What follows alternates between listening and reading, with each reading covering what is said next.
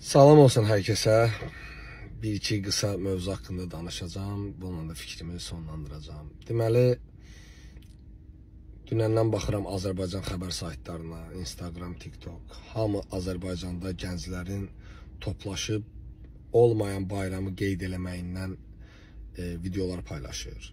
Hamı yüksək əh əhval-ruhiyyədə, nə bilim, bayraqlarla, maşınlarla şəhərə tökülüşüblər, nə bilim, mahnı qoyub oynayırlar.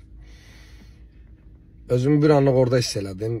Dedim görürsən bu insanlar nəyə sevinir? Hansı günlərdən xoşbəxtdilər? Oradakı gənclər, gənclər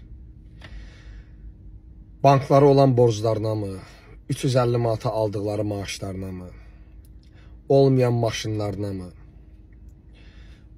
telefonlarının kreditinə mi, kiraya qaldıqları evlərə mi, dostlarının, yaxınlarının toylarına gedəndə götürdükləri arendaya paltarlara mı? Yəni nəyə bayram qeyd eləyirlər? Və biraz düşünərək anladım ki, onların qeyd elədiyi əslində bayram deyil. Sadəcə bir yerdə toplaşa bilmə və cəm şəkildə hər hansı bir sevinc işsin və yaxud da qışqır bağır salmağı rahatlıqla azad şəkildə göstərə bilmədi. Çünki insanlar misal üçün çörək qiyməti qalxsa, bu qədər adam etiraza qoşulsa, hamı onları tutub basar içəri. Maşınlar gördüm niqalka ilə gəzirlər. Normal günlərdə bunu eləsələr, onları tutub basarlar içəri. Etirazlarını eləyən günlərdə bunu eləsələr, onları tutub basarlar içəri. İnsanlar olmayan sevinclərin əslində kədərlərin göstərirlər. Yəni bizə zaten toplaşmağa icazə vermirlər. Heç olmasa yalandan bayrammış kimi özümüzü göstərək, bir yerdə toplaşa bilək, yalandan atlanıb düşək. Vallah oradakı insanların hamısı metro ilə gəlib. Çoxu da, yəni 90%-in deyə. Çoxu tələbədir, bekarçılıqdır, iş yox, güc yox. O nə iş alıb çəkə bilmirlər, problemlərini unutsunlar. Edək ki, heç olmasa 5 dəqiqə də olsa bizim dərdlərimiz, problemimiz bizim yadımızdan çıxsın. Çünki mən də yaşamışam da orada. Yəni biz hansı günümüzə sevinə bilərik, hansı günümüzə xoş ola bilərik. Bir də bu seçkilərlə bağlı onu deyə bilərəm ki, insanların bir şey var, e, qalib xalqın qalib prezidenti, nə bilim, nəyin, nəyin, nəyi olmaq.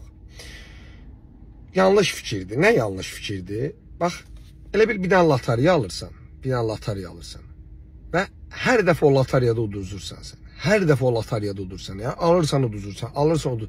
Amma 5-6 dənə də almadığın loteriya var. Eyni loteriyada 100 dəfə uduzmağa baxmayaraq 100 dəfə sənin cibindən pul getməyinə baxmayaraq, problem içində batmağına baxmayaraq, sual verəndə birinə, biri sən qayıdıb deyir ki, e, neyniyək, başqa nəsgüya gəlsə kim necə olacaq ki? Hardan bilirsən necə olmayacaq? Sən bir başqa loteriyanı al da, risk elə də, sən yoxla da bir. Bəlkə dəyişdi. Sən zaten bunda əgər heç nə yoxdursa, heç bir şey dəyişmirsə, bunu təzdən qəbullanıb alırsan, uduzacağını bilə-bil edirsənsə, bəs digərlərini niyə yoxlamağa qorxursan? Bunda uduzmusan, eyb yoxdur. O birini seç, uduz. Amma yenə də seçdiyi göstər də, risk elədiyi göstər də. Çünki risk edən insan həyatda qazanan insandır. Bir iş, qurmaq istəsən, batırarsan, batırarsan, başqa iş görərsən, onda da batırarsan, başqasını görərsən, onda yaxşı olar, tutuzdurarsan. Yəni heç kəs bir işə baş qoşan kimi həmin işdə partladmır ki. Yəni idman müəllimi ola bilməzsən, gözəl nə bilim tatu master olarsan, parikmaxır olarsan, nə bilim maşın ustası olarsan, təkər ustası olarsan, işləri bir dəyişməlisən ki, hansı sənə uyğundursa, o işdə partladasan. O demək deyil ki, sən bir işə yapışdın, axıra kimi o iş möhtəşəm olmalıdır. Qardaş, neçə ildə olmur? E görürsüz də neçə ildə olmur. Baxırsan 80 yaşı var arvadın. Valla bu əslində seçkiləri e, edəndə insanların psixoloji durumunu yoxlamalıdır. Həkim e, nəzarət altında olmalıdır. O iki dəfə, üç dəfə də səs vermədə iştirak edib yüzbaşı, minbaşı deyən adamlar var. Onların da bütün ailə üzvlərinin hamısına soxum. Başqa heç nə demirəm. Bizim milləti bu günə qoyan nə bilim, vallahi sizin yerinizə o qədər xəcalət çəkib utanıram. Öz yerimə yox, özüm şükür olsun dəb kimi də hər şey. Sizin yerinizə utanıram. Allah xəcalət çəkirəm sizin yerinizə. Gənclərin gənc kimi yaşaya bilməməyinə, insanların psixologiyasında anca ölmək, e, təhsil al, universitet oxu, heç yerdə də işləmə. Bu ideologiya ilə insanlar neçə ildir yaşayır və hələ də nəsə olacağın ümid bağlayıblar, gözləyirlər. Universitetə gir, girməsən öldürəcəksən, universitetə girib bir pox olmur. Nə bilim, ged müharibəyə, öl, şəhid ol, zor olacaq. Qardaş, belə deyil, həyat bundan ibarət deyil. Sən bir dəfə doğulursan, bir dəfə yaşayırsan, özün üçün, ailən üçün bir dəfə yaşayırsan. Yəni bu gün mən doğulum, kim üçünsə yaşayım, sabahları özüm üçün yaşayacağam deyə bir şey yoxdur. Özünüz üçün yaşayırsınız. Yəni digər insanlar sən üçün dırnağın belə kəsmədiyi halda sən gedib öz canını kim üçünsə niyə qoyasan?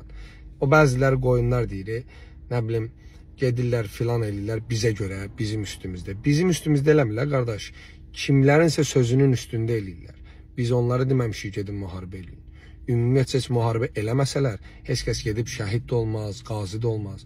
Bu gün qazilərimizin 50% bərbad vəziyyətdədir. Bəzi qazilər əlində plakat götürüb deyir ki, bizi təzədən göndərin, biz nə bilim əmrinizdəyik falanıq. Bax, soxum onların da ağzına. Bax, soxum o plakat tutan qazilərin ağzına ki, o biri qazilər var, evində qaz pulunu ödəyə bilmədiyin öyle qazları kəsilib. Onlar soxsun o qazilərin ağzına. İndi bəs mən deyəndə ki, bu insanların 50% şərəfsiz peysərdir. Gəlib məni qınıyırdınız ki, forma müqəddəsdir. Forma... Qardaş, nə forma müqəddəsdir, nə formanın içinə girən bütün şəxslər müqəddəs deyil. 50-50-yədir. Onun içinə girən, formanın içinə girən adi sıradan bir vətəndaşdır. Şərəfsizi də o formanı geyinir, şərəflisi də geyinir. Biz onu ayırt eləyə bilmərik. Baxın, cəmaatın qaziləri 80 nəfər özünü yandırıb, öldürüb, 20-30 dənə də peysər əlində plakat tutub ki, biz təzədən gedək müharibəyə. Hə, belə gənclərlə gedərsiniz irəli. Azərbaycan əvvəllər Bakı Bakı haqqında danışanda deyirdilər ki, küləklər şəhəridir. Həm küləklər şəhər olub, həm ərəblər şəhər olub. Çox sağ olun ki, bizi xaricdə yaşada-yaşada utandırırsınız və çox sağ olun ki, belə bir durum yaşadmısınız ki, biz günü bu gün xaricdə yaşamağa məcburuq. Yaxşı ki, bunu elədiniz. Yaxşı ki, ölkə gözəl yaşamır. Yaxşı ki, ölkə bərbad yaşayır. E, beyni işləyənlərin gözü açılıb, gedib xoşbəxt həyat tapıblar özlərinə.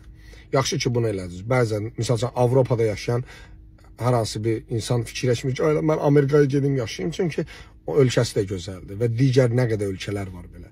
Yaxşı ki, bizdə belə olmadı. Günü bu gün mən xoşbəxt bir ölkədə yaşayıram. Cahillər mənim da danışdığımı anlamaz zaten. Cahil olmayanlar da heç mənim vecimə də deyil. Cibizə baxın, sonra gəlin mənə kommentariya yazın. Öpürəm. Bir də qonşudakı neçədən uşaq kasıbdır, ona baxın.